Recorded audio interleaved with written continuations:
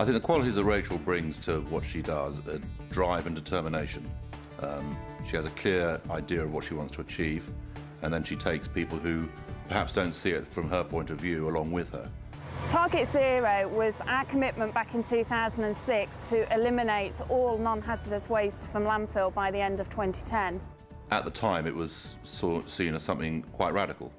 It would mean a different mindset and approach to the way we dealt with waste from site. We were spending as a business at that time over three and a half million pound on waste. Together with increasing landfill taxes, there was increasing legislation. And we also saw it as an opportunity within the industry for us to collaborate with our peers, with our customers, with our suppliers on an issue that is very much common across the built environment. We really explored at the early stages of the project whether we're able to segregate the waste streams on site or whether we have to use one of our waste suppliers to take away the mixed waste we then segregate at their facilities. If you take a typical refurb, space is very tight. Uh, we can't, you know, to try and have skips for wood, skips for metal, skips for plasterboard, skips for paper, skips for, for, for general canteen waste, you know, you're talking a large area. It's just impractical. At that time, we were using 134 different waste companies within the group. This seemed to me to be ludicrous. We did a lot of work in auditing waste companies to find the companies that share the same value set as us, that also have uh, waste facilities where our waste can go to from sites. We now have 30 waste companies who are part of our strategic supply chain. If we were going to improve, we needed to better understand where we were.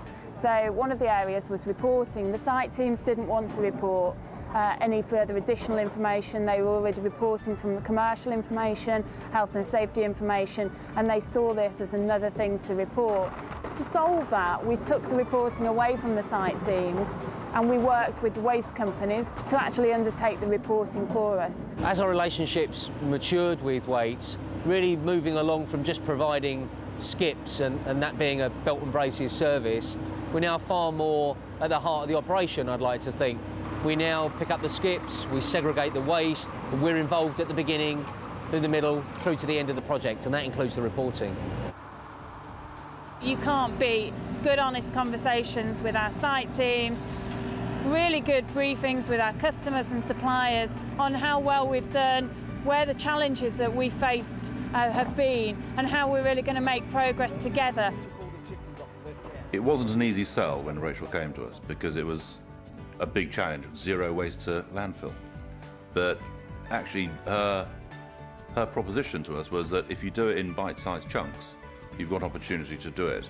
And if you don't do it, then you'll, you'll not start on the journey. And look for the easy wins, because I think all of these things, if you've got easy wins, you can then pick them off, build momentum, and then create confidence in what you're trying to achieve.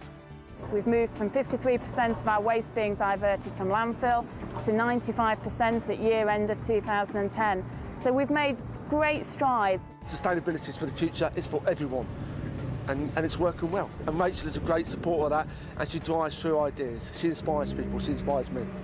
I've always had an interest in the environmental agenda and I've also really passionate about helping Wates make a difference in the environment and the communities in which we work. This is about people, this is about a team effort within our business. Every individual has really embraced Target Zero and helped make that step change in the way that we deal with waste on our sites.